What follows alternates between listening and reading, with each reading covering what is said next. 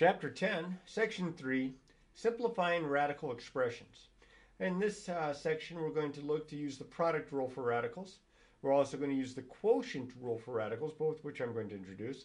We're going to simplify radicals, and of course we need to learn all the rules to simplify radicals. We're going to simplify products and quotients of radicals using uh, that have different indices.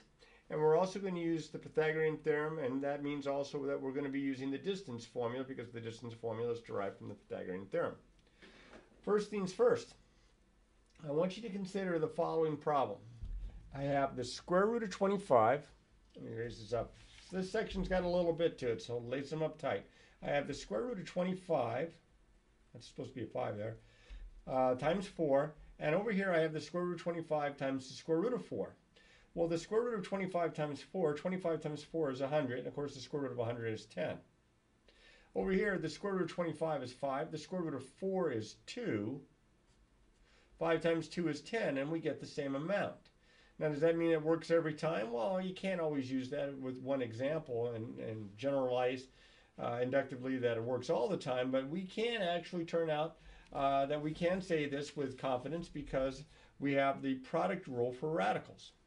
Now, the product rule for radicals says that if you have the nth root of a and the nth root of b, and these are real numbers, these are defined, and n is a natural number, then the square root of, uh, or the nth root of a times the nth root of b is equal to the nth root of a times b. Or the product of the two nth roots is the nth root of the product. Now, it only works if they have the same index. Remember, the index is the number that's kind of in the little crook of the radical sign. So these two numbers have to match. If they don't match, then you can't use this property. And here's some examples. Multiply, assume that all the variables represent positive real numbers. So this way we don't have to worry about absolute value or anything like that. So here in the very first example, although it came out kind of bad, uh, poor copy here, I have the square root of 5 times the square root of 13. Well, the square root of 5 times the square root of 13 is equal to the square root of 5 times 13. That's this product property here, this product rule for radicals.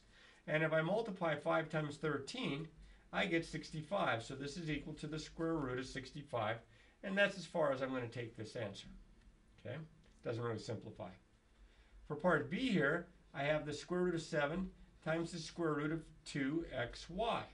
Well, very similarly, I'm going to use the uh, product rule for radicals. I'm going to write this as the square root of 7 times 2xy. And then I can simplify a little bit here by multiplying the 7 and the 2 together. And I get the square root of 14xy.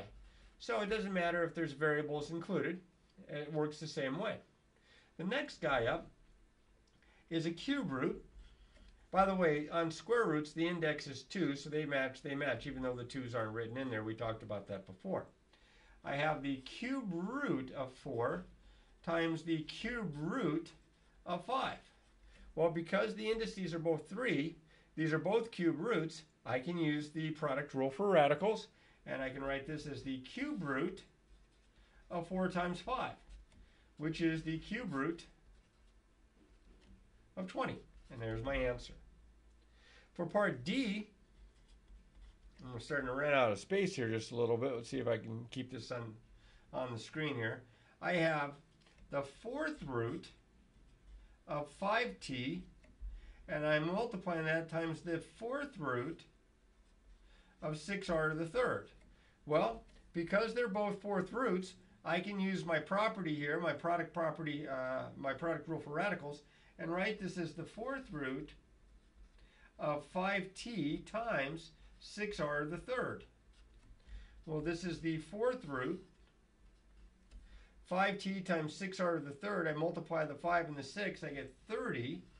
And then t times r to the third is just that tr to the third, or I like to write them in alphabetical order with my variables. So I'm going to write it as 30r to the third t, the fourth root of 30r to the third t. Now, if you had the t here and the r to the third there, it's the same thing. Mult uh, multiplication is commutative. All right, for, uh, for part E here, this is probably the last one I'll be able to squeeze in. I have the seventh root. When's the last time you did a problem with an index of 7 in your radical? Times the uh, 20x, excuse me, times the seventh root of 3x y to the third. Now, because again, they have the same index, and because I'm multiplying here, by the way, this product rule for radicals works for products, doesn't work for when you're uh, you have sums and differences. So in this case, this would be the seventh root of, using the property. All right, this is 20x times 3x y to the third. About this point, if you haven't already asked yourself, do I need to put this step in here, or can I just go ahead and multiply them together? You can just go ahead and multiply them together. These aren't all that difficult to keep track of. And I have the seventh root. I'm just trying to emphasize it by putting this extra step in to show you the product rule for radicals right here. And this would be 60 x to the second, y to the third. All right, and there we go. Now the last one, I'm actually almost out of space here. I have a little space at the top of this next page here. This is the cube root. Let me write it down again here. This, this is part F here. This is the cube root of 5 times the fourth root of 9. Well, in this case, let's see if I can get this even up. There we go. In this case, uh, this is you can't multiply these in this form because the uh, product rule for radicals doesn't apply. You have different indices. So in this case, cannot multiply. I'm just going to write down cannot multiply. Okay? Okay, now we go from products in which we have this product rule for radicals to quotients, and we have a quotient rule for radicals. Now, the product rule for radicals and the quotient rule for radicals are really, really, really important if you're going to stick around in math for a while. They're important in algebra, they're important in pre-calculus, they're important in calculus. So you're going to want to try to remember these guys here. And so now what we're going to do is we're going to go ahead and look at the quotient rule for radicals. Now the quotient rule for radicals is very similar to the quotient rule for products, except this is a quotient, not a product. It says if the nth root of a and the nth root of b are real numbers and b is not equal to 0, and n is a natural number, 1, 2, 3, 4, 5, 6, or so on, then the nth root of a divided by b is equal to the nth root of a divided by the nth root of b. Or the nth root of the quotient is the quotient of the nth roots. And again, b can't be 0 because you can't divide by 0. So this property is very similar in that you break, instead of a product into the factors, you break the quotient into the numerator and the denominator. You take the nth root of the quotient, it's the quotient of the nth root. It's the nth root of the numerator divided by the nth root of the denominator. Now I'm going to do some examples with this as well, but you uh, would be doing yourself a big favor if you take the time to put this one in the old memory banks. Simplify. Assume that all variables represent positive real numbers. So for part A here, I have the square root of 100 over 81. Well, that's clearly the square root of a, of a quotient here. So I'm going to write this as the square root of 100 all over the square root of 81 using your quotient rule for, radical, uh, for radicals that we just looked at. This guy right here. Okay. Well, this can be simplified because the square root of 100 is 10 and the square root of 81 is 9, so I get an answer of uh, 10 over 9. The next one up looks kind of like the same type of problem. It's just that in this case, when I break this into a quotient of radicals, the top radical, the square root of 25, or square root of 11, does not come out to be uh, a whole number. Uh, it's an irrational number. So I'm going to leave it the same, but I'm going to take the square root of 25 and write 5 as my denominator. All right, the next guy up, part C here, is the cube root of 18 over 125. Now again, using the property uh, right here, this would be the cube root of 18 all over the cube root of 125. And very much like the last problem, the, the uh, numerator does not simplify. Uh, 18 is not a perfect cube. So I'm going to leave that as the cube root of 18, but the denominator does simplify because 125 is a perfect cube. It's 5 times 5 times 5, so the cube root of 125 is 5. Next guy up. Um, let's put it right here. I have the square root of y to the eighth all over 16. Well, according to the quotient rule for radicals, this is equal to the square root of y to the eighth all over the square root of 16. Well, the denominator is extra easy. That's just 4 because 4 times 4 is 16. But in the numerator's case, uh, even though we have a, a variable there, uh, y to the eighth is a perfect square. Y to the eighth is y to the fourth times y to the fourth. So I can just write this as y to the fourth like that. Now, some uh, students have a little trouble with that with the variable, but here's my rule of thumb. This looks like a, this radical sign looks a little bit like it's a division symbol, like back in the old days in grade school when you wrote the division symbol. Okay, since the index is 2, even though it's not written down, it's like I'm dividing the 2 into 8, goes in 4 times. That's how you're going to, uh, or at least an easy way to remember this. Okay, now the next guy up is the opposite of the cube root of x to the second or r to the 12th. Well, don't lose your negative. This is the cube root of excuse me, the opposite of the cube root of x to the second, and then this is all over the cube root of r to the 12th. Well, if I use the little shortcut that I was talking about before, looking at my index like it's the divisor, 3 doesn't divide into 2. So that part stays the same. So I'm going to write my negative sign. I'm going to leave the cube root of x squared up top. But down here, the 3 does go into 12 evenly four times. So I get an r to the fourth. See, r to the 12th is r to the 4th times r to the 4th times r to the 4th. And you would add the exponents. 4 plus 4 plus 4 is 12. That's why dividing by the index gives me that value. And here's my answer. Kind of messy. All right, the product and quotient rules for radicals are useful for simplifying radicals. Okay. Now, how do you simplify a radical? Well, you have to meet a certain number of conditions. And it's too bad that good old Mr. Bartling doesn't still teach here because he created a song, which I do not know. I wonder if it's on YouTube.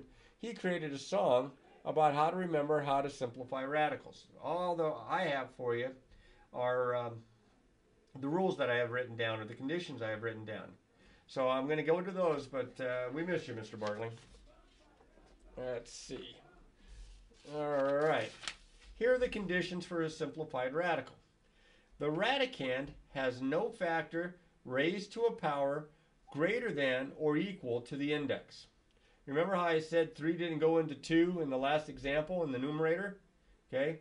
If the exponent or if the factor raised to a power has an exponent greater than or equal to that index, then it will simplify. You can divide it in. You also cannot have a fraction as the radicand. That's the part that's underneath the radical sign. So you can't have a square root or a cube root or a fourth root of a fraction and for it to be considered simplified. You also cannot have a denominator that contains a radical. So you can't have like a square root of 2 in the denominator. It's not considered simplified. And then on top of all that, exponents in the radicand and the index of the radical have to have a greatest common factor of 1. Now I'm going to kind of explain that one. That one's hard to just say but I'll be able to explain it a little bit more here uh, with some examples. All right. Now, if you, oh, let me keep that there. If you practice these a reasonable amount, keeping track of this, this becomes easier for you to remember. But if you don't practice it, or if you just go to some website, simplifyingradicals.com or something like that, and just have somebody else do it for you, you're going to have trouble. All right, so here we go. For part A, I have the square root of 72. Now 72 is not a perfect square, okay? So I can't just come out with an answer like 7 or 8 or 9 or something like that. However, there is a factor, in fact there's a, uh, a couple, three factors of 72, numbers that divide into 72 evenly, that are perfect squares. For example, 4 is a perfect square, and 4 goes into 72 18 times. 9 is a perfect square. 9 goes into 72 8 times. But my favorite is 36. 36 is a perfect square, and it divides into 72 two times. So I am going to write this as the square root of 36 times 2. Okay, because it's a square root, I'm looking for perfect squares. Now I'm going to use the, uh, the product rule for radicals. That, that was the very first one we had. And I'm going to write this as the square root of 36 times the square root of 2. Well, what does that do for me? Well, the square root of 36 comes out to be even. So I have a 6 here. The square root of 36 is 6 times the square root of 2. And that's as far as this is considered simplified. Okay, because the radicand 2 doesn't have any factors raised to a power greater than or equal to the index. The only numbers that divide into 2 are 1 and 2, and you don't really count 1. There's no fractions. There's no denominator with a radical. And there's really no exponents in here since this is 2 to the first power. And so that the index is a 2 here, 2 and 1 have a GCF of 1. Now, I look for these things. I mean, this is the fancy way of saying it, but I look for these things. I don't want any fractions in the radicals. I don't want any radical in the denominator. And I want to make sure that all the perfect, in this case square, because it's square root, factors have been dealt with. And that was at 36, the largest one. So we'll try another one. Okay, let's see if we have any better luck here. This is the square root of 300. Now I'm hoping you're looking at the square root of 300 and say, oh yeah, yeah, it's a square root. There are some numbers that are factors of 300 that are perfect squares. Now clearly, 300 is not a perfect square. But there are numbers that divide into 300 bigger than 1 that are perfect squares. For example, 4 is a perfect square and 4 divides into it 75 times. 25 is a perfect square and 25 divides into that 12 times. But my favorite, because it's the largest one I can think of, is 100. 100 goes into 300 three times. So I'm going to rewrite this as the square root of 100 times 3. Very much like I did the first example with the 36 and the 2. Finding the largest perfect square factor of the radicand. Then I'm using my product rule for radicals. I'm going to write this as the square root of 100 times the square root of 3. And the square root of 100 is 10 times the square root of 3. And that's as far as it goes. You're pretty, you should be pretty confident that if your radicand, like in these first two, are prime numbers, it's as far as it's going to go. All right, now they are going to get a little bit more difficult. We're working our way towards those, but hopefully so far so good. Part C here says the square root of 35. So this is a little bit like a problem like A or B in that all I have underneath it is a single number, 35. Now, is 35 a perfect square? No, it's not. 36 is, but not 35. Does 35 ha have any factors? numbers that divide into 35 that are perfect squares greater than 1, like 4 or 9 or 16 or 25 and so on. And the answer there is also no. This one cannot be simplified.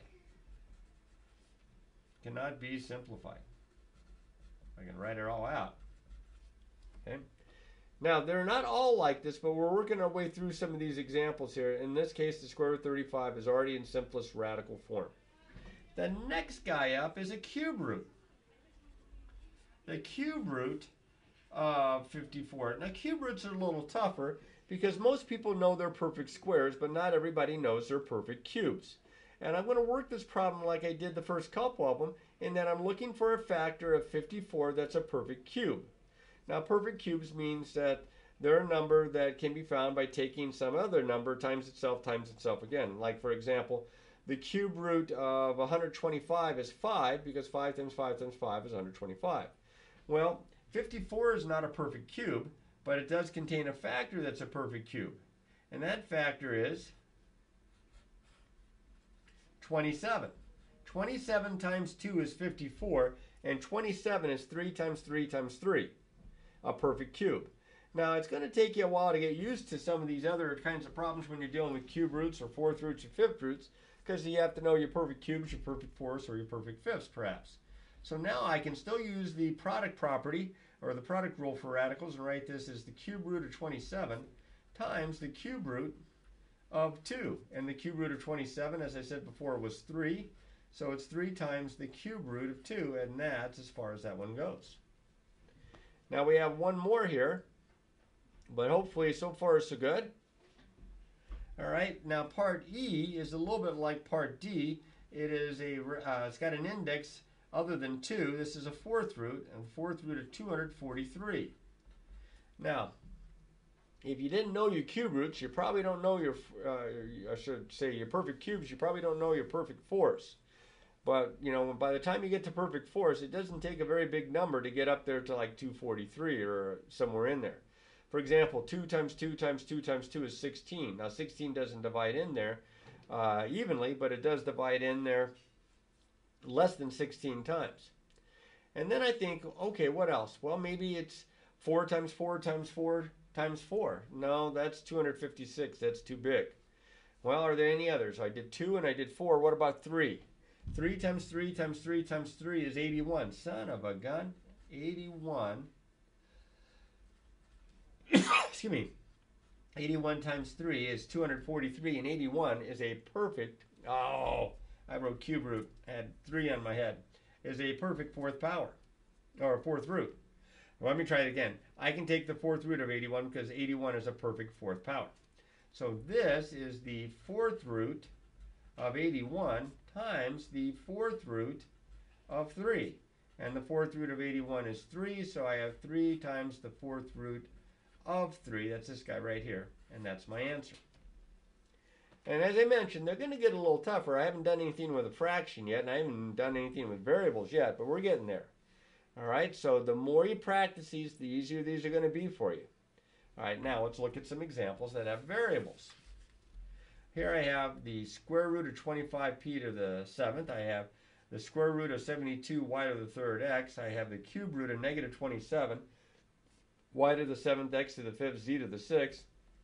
And I have the opposite of the fourth root of 32a to the 5th b to the 7th. All right, so now let's start here with a.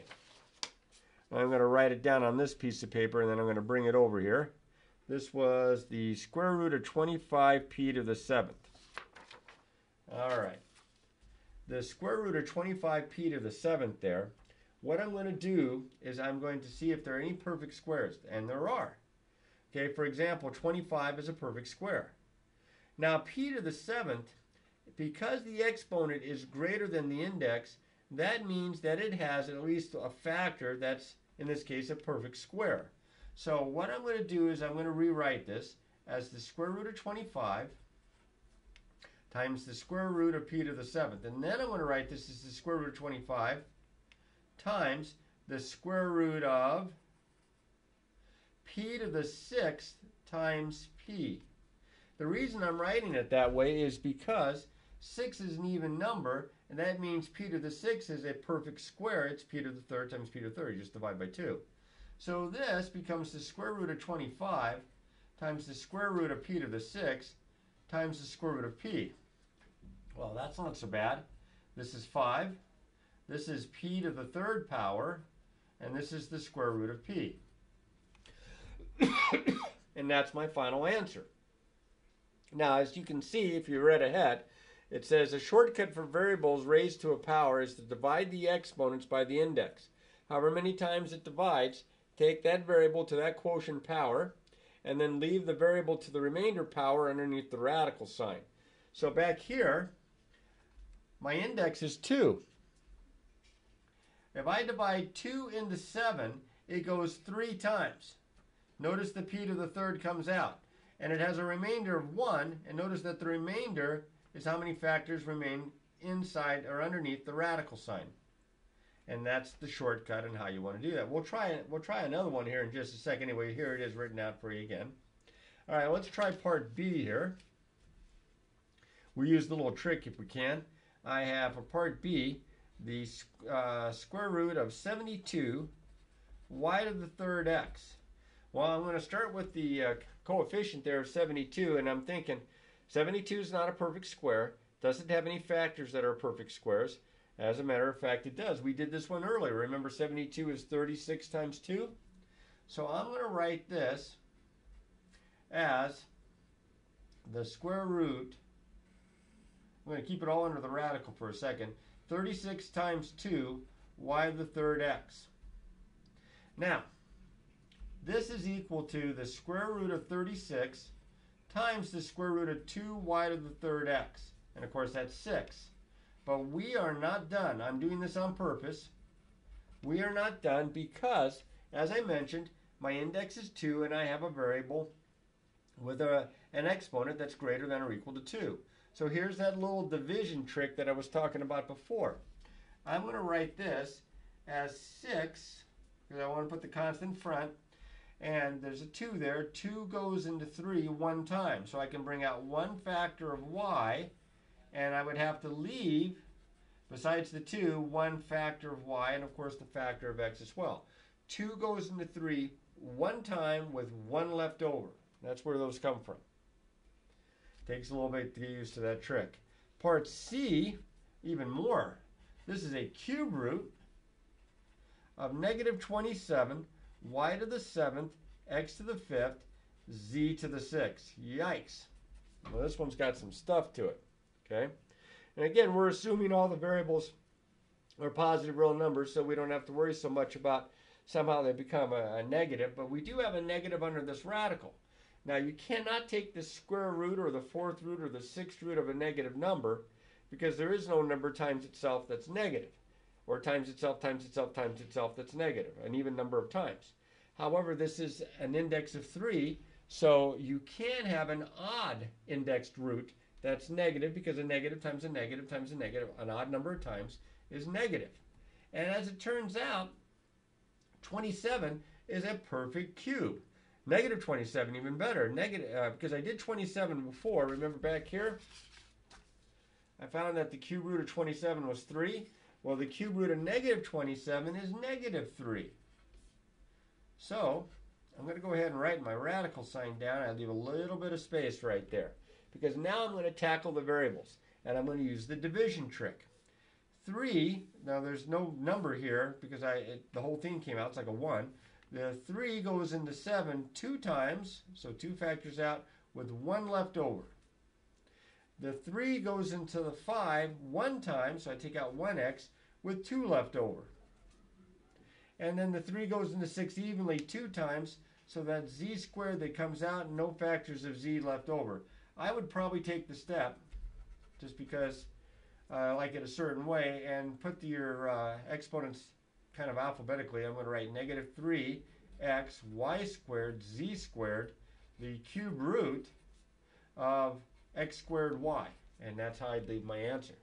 That one got messy in a hurry. You had to be very, very careful and then use the little number trick with the index. Part D. I have the opposite of the fourth root of 32 a to the fifth, b to the seventh. Well, as it turns out, 32 is not a perfect fourth power, but it does have an uh, excuse me, it does have a factor that is a perfect fourth, because 2 times 2 times 2 times 2, four factors, is 16, and 16 goes into 32 evenly. So I'm going to put the negative out in front here, and I'm going to write this as the fourth root just to emphasize this, of 16 times 2, a to the fifth, b to the seventh. Now, the fourth root of 16 is 2, so now I have negative 2. And there's a 2 left over. Just remember as a fourth root. And now I'm going to do the little trick with the variables, the exponents, and the index. 4 goes into 5 one time, so I can bring out one factor of a with 1 left over, and I put in one factor of a left. 4 goes into the 7 here for the b to the 7th one time with 3 left over. So b to the third as a factor underneath the radical. And that's as far as that one simplifies. And I think that was all of them. There's just the four parts yet. All right, now, this is getting intense, especially when they start throwing in some variables and such. Now, before we get too crazy here, I want to go ahead and talk just a little bit about um, the the rule it was the I think it was the fourth one of the conditions for simplifying radicals that we uh, showed a little bit ago, saying exponents in the radicand and in the index of the radical have to have a greatest common factor of 1. Here's what we're going to do. We're going to use rational exponents. Here's an example. If you notice here, the index is 9, the power is 6, they have a common factor of 3. So I'm going to write the ninth root as to the 1 ninth power. So I have 5 to the 6 to the 1 ninth power. Well, power to a power, you multiply the exponents. I get 6 over 9, because this is like 6 over 1 there. And then 6 over 9 reduces to 2 thirds. And this gives me, of course, there's the denominator, that's the index, the cube root of 5 to the second power, or the cube root of 25. It gets a little tricky. I'll show you another one.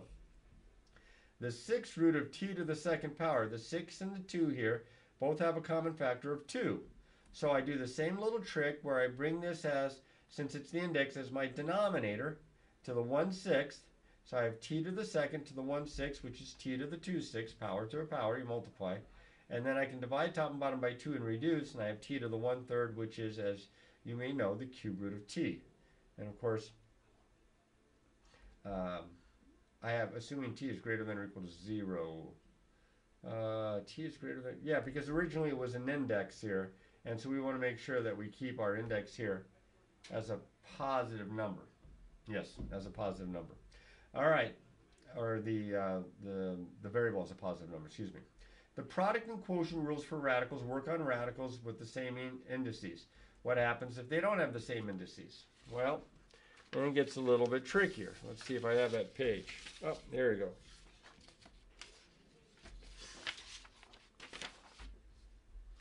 I have the cube root of 3 times the cube root of 6. Well, when they have different indi indices, as we saw with one of the examples a while back, I said you could not multiply them. Well, I kind of kind of fibbed a little bit. Here's what you can do. You can first rewrite these using rational exponents. So this is 3 to the 1 third times 6 to the 1 half. Now 3 to the 1 third and 6 to the 1 half, the denominators are different. I'm going to rewrite these so that they have the same denominator. So I'm going to write uh, denominator 6, so I'd have to multiply top and bottom by 2 here, top and bottom by 3. I get 3 to the 2 sixths times uh, 6 to the 3 sixths. And the reason that I'm doing that is because now I can think of these each as um, a, um, uh, how do I want to put this? As 3 squared to the 1 6th power, and this would be 6 cubed to the 1 6th power. Well, 3 squared to the 1 6th power, that's the 6th root of 9. And 6 cubed to the 1 6th power, that's the 6th root of 6 times 6 times 6, 216. Well, now they have the same index, and now I can multiply them. This is the 6th root of, let's see, um, let's see, 1800, 1890, uh, 1944, I hope. The sixth root of 1944. Uh, at least I think that's the answer. It's been a while since I've done that problem, but I'm pretty sure that's it. Okay. Now the next example is more of the same. This I'm going to rewrite as 5 to the 1 half. This is 4 to the 1 third. My common denominator again is 6. So this is 5 to the 3 6 times 4 to the 2 6. Well, this is the sixth root of 5 cubed, and this is the sixth root of 4 squared. So this is the sixth root of 5 times 5 times 5, which is 125, and this is the sixth root of uh, 4 times 4, so that's the sixth root of 16. And now I have to multiply 16 times 125 because now my indices match and I get the sixth root. Um, is that 2,000? I think it's 2,000. Now, there are lots of perfect six, but I don't. I can't think of a single one other than one that'll divide into 2,000. So that's about as far as that guy's going to go. All right, we're going to uh, get to some stuff here with the Pythagorean theorem. And then we'll look at the distance formula before we skedaddle from this section. All right, so let's go back to the Pythagorean theorem. Now, in geometry, you studied this, and this was one of the most important theorems probably that you studied. Uh, and the Pythagorean theorem was named after a Greek mathematician by the name of Pythagoras. And Pythagoras came up with the idea for right triangles only that if A and B are the lengths of the shorter sides or the legs of a right triangle, and C is the length of the longest side, which is known as the hypotenuse, then A squared plus B squared equals C squared. And to my knowledge, there's well over 250 different ways that you can prove this to be true. I'm not worried about the proof, but I am worried a little bit here about as far as making sure that you understand with a right triangle, you have a right angle and two acute angles. All right, the hypotenuse is the side opposite the right angle, and the legs are the two sides that make up the right angle. Okay, the hypotenuse is the longest of the, the three sides. So in problem like A here, it says find x. It says find the length of the unknown side in each triangle. Well, x is the hypotenuse because it's opposite the right angle. And I know the two legs of 5 and 8. So I'm going to plug this in for A, this in for B, and this in for C. For A squared plus B squared equals C squared, and I get 5 squared plus 8 squared equals X squared. 5 squared is 25, 8 squared is 64 equals X squared. Add those together, I get 89 equals X squared. So X has to be the square root of 89. X can't be a negative number because it's the length of a side, so you don't have to worry about putting like a plus or minus. Now with that in mind, by the way, the little square symbol there represents that of a right angle. Here I've written down 90 degrees, so that's a right angle as well. And in part B, I know the hypotenuse, I know one of the legs, I don't know the other leg. So I'm going to plug this in for A. Here's B, and I'm going to plug this in for C. Remember, A and B are the legs. So I have 6 squared plus B squared equals 12 squared. I have 36 plus B squared is equal to 144. I'm going to subtract 36 from both sides in the attempt to solve for b, and this is 108. So b is equal to the square root of 108. Now don't grab a calculator to tell me that this is 10 point something or other. You can simplify this one though, because if as I look at 108, I know that there are numbers that divide evenly into 108 that are perfect squares, bigger than 1. And the number that, that leaps out into my mind actually is uh, originally was 4. And then I thought, no, 9 goes into 108 12 times. But then I thought, no, no, no. This is 36 times 3.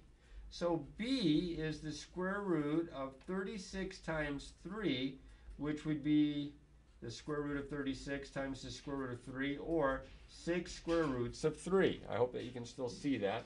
My paper got stuck there and that's what b is equal to. That's what they want. They don't want a decimal, okay, because if you get a decimal, then you're kind of defeating the idea of simplifying the radical. Now, the Pythagorean theorem is used to, de uh, to develop what we know as the distance formula. And I've got a little diagram here. I'm pretty sure you could probably find something in the textbook as well that's kind of like this. But if we have points P and Q, I just put them both in the first quadrant just to make it easy on myself. And point P is x1, y1, and point, uh, point Q is x2, y2. I can find the distance between those two points by using the distances here to the perpendicular, vertically and horizontally that form a right angle. Because this point, call it point R, has the same x value as point Q, it has the same y value as point P and I can do the distance, the difference here between the y's and the difference here between the x's for their lengths. So if I use leg squared plus leg squared equals hypotenuse squared, and then I take the square root of both sides, you can see that I get the distance formula. Now you had this as back far as probably your Algebra 1 days, maybe even pre-algebra, but not everybody remembers it. Put this one to memory because it's a fairly important formula for to use. You can always use the uh, Pythagorean theorem to derive it, but this is good enough. So what we're going to do is we're going to use this formula here, and we are going to find the distance between a pair of points.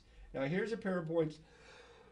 well, I've clearly talked too long on this video uh, that I'm going to use, and I'm going to plug this in. Now, it doesn't matter which one you call x1, y1, and x2, y2. I just want first one, second ones. Plug them into the formula. It's the difference in the x's squared plus the difference in the y squared, the square root of all of that. Got to memorize this, okay? So this simplifies. 5 minus 2 is 3. 3 squared is 9. 3 minus negative 1 is positive 4. Positive 4 squared is 16. 9 16 is 25, so I have the square root of 25, the distance is 5. Now I'm going to do very much like this in, in this next example here, but I'm going to do it from scratch. I'll call this x1, y1, and this x2, y2. And my distance would be, using the distance formula, the difference in the x's, so that's 0 minus a negative 3 squared plus the difference in the y values, y sub 2 minus y sub 1, so that's negative 4 minus a negative 2. No, no, it's a positive 2, excuse me. A positive 2, and that gets squared. So I have the square root of, well, 0 minus a negative 3 is 3, so I have 3 squared. And negative 4 minus 2 is negative 6, so I have negative 6 squared. 3 squared is 3 times 3, that's 9. Negative 6 squared is negative 6 times negative 6, it's positive 36. I get the square root of 45. And that's the distance between the two points. But stop. This simplifies. You don't want to leave your answer in a radical that's not considered simplest radical form. Because the square root of 45, that's 9 times 5. So that's the square root of 9 times the square root of 5, or 3 square roots of 5. All right, and that's how this one simplifies down to. Now, if you're wondering, well, how come we didn't do any simplifying with fractions? They're a coming. It's just that we didn't get to them in this section. We are doing mostly with the products. So it's going to take a little bit to get used to. It's going to take a little bit of practice on your part so that you feel comfortable with this. As I always say, you must practice, practice, practice.